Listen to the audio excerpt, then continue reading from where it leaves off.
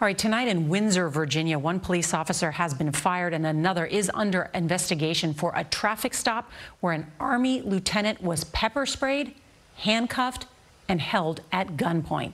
CBS's Jeff Pegues has the disturbing body cam video that the state's governor says left him angered.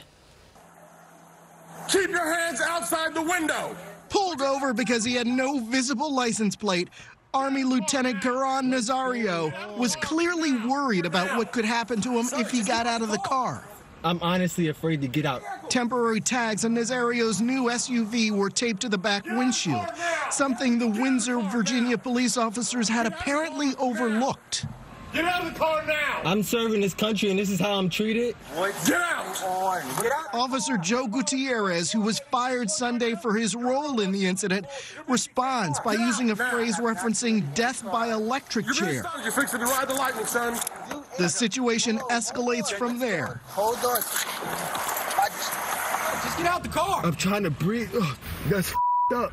That's out the car now. Nazario eventually exits the SUV. Get on the ground! Get on the ground now! Can you please talk to me? Get on the ground! Get on the ground! It is a sad commentary that when a uh, African American male who is in uniform is still afraid to exit a car in today's uh, day and age.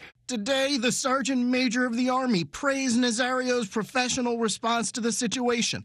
I'm very proud of him, he wrote. Nazario, who was ultimately not charged, has filed a $1 million lawsuit. Wow. Not cooperating. Get on the ground.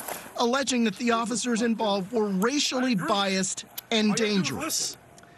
There is more to Nazario's lawsuit. It also alleges that the officers involved threatened to destroy his military career if he complained.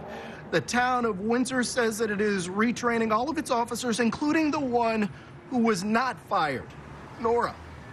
All of it caught on tape, and it has angered so many. Jeff Pegues, thank you.